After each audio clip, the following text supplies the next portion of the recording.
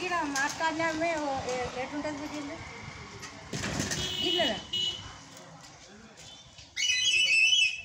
ಈ ಬಂದು